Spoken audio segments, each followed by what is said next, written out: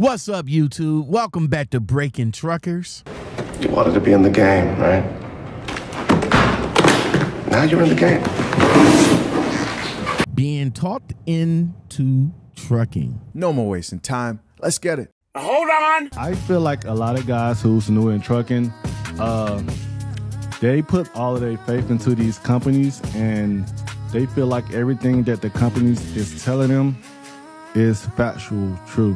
Like I feel like they can talk you almost into anything. Uh, a lot of companies like to talk you into the Family Dollar account, the Dollar General account when you first come into trucking because they know a lot of you guys are going to say yes. A lot of you guys are like yes man when you first come into the trucking. Anything that these companies tell you is good for you, you're going to say yes, you're going to do it. So I feel like a lot of companies use that to their advantage. Like one point I want to make, let's be honest, a lot of companies know that the drivers that come into trucking, they need money. So what they would do, they would take a account that someone who's been in trucking for some years would not do, but they'll take that same account and offer it to the new upcoming drivers because they know that they're going to say yes. All they got to do is what? Dangle this money over your head. Hey, here's $1,800 a week for you to do this Family Dollar account.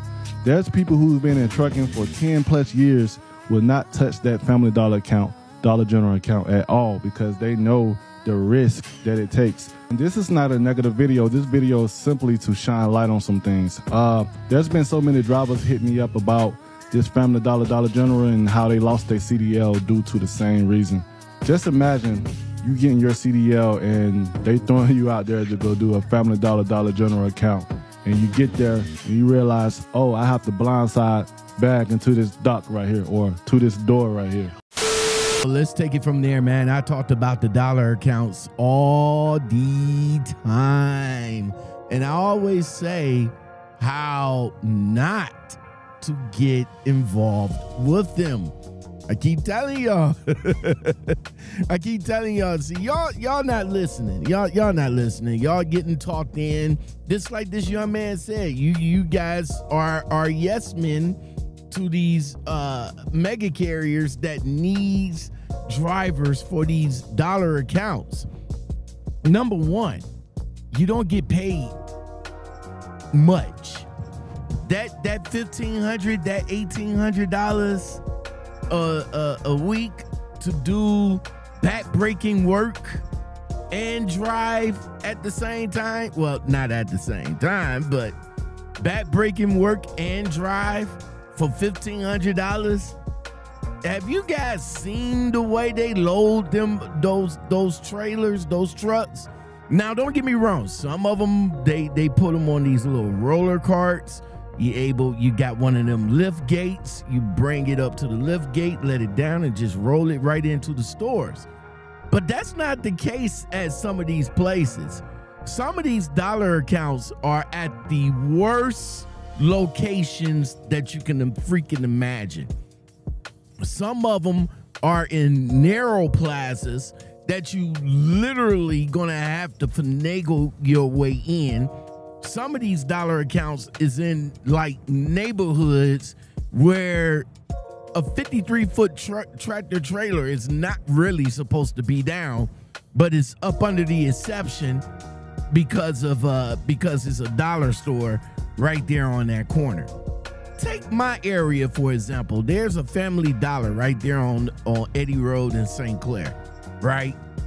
The only way, the only way to get in, if you're coming off of St. Clair, you can't you you can't make that left, you can't make that right turn on uh on the Eddy Road and then make that left turn into the into the parking lot of that of that dollar uh that family dollar. No. You're gonna have to either go all the way down to 72nd or you have to come or you have if you're coming up St. Clair, you have to go all the way down to 140th. Then you're gonna have to get on the highway.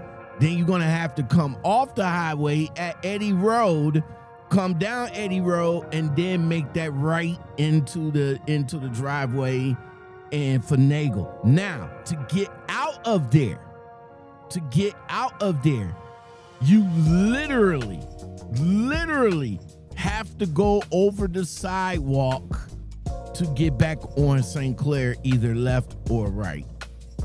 That's crazy. They don't tell you about that though. They don't tell you. And before I get on up out of here with my thoughts, he's a, he's absolutely right. They do talk you. They they talk good game.